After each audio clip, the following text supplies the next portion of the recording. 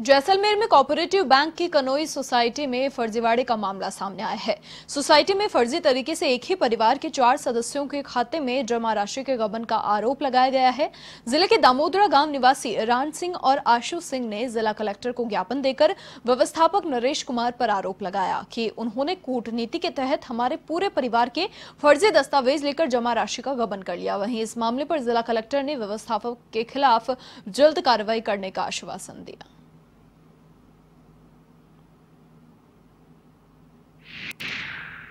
मिलिया मना मिलिया कौन है मना रुपये दिनो कौन वो आपरा ले लिया क्या क्या वो व्यवस्थापक है वो कोऑपरेटिव बैंक रो वो वो उठा लिया गबन कर लिया रुपया साहब माना एक पैसे दियो कौन एक रुपये नहीं दियो हाथ में होगन हर रुपये कुछ नहीं दिया साहब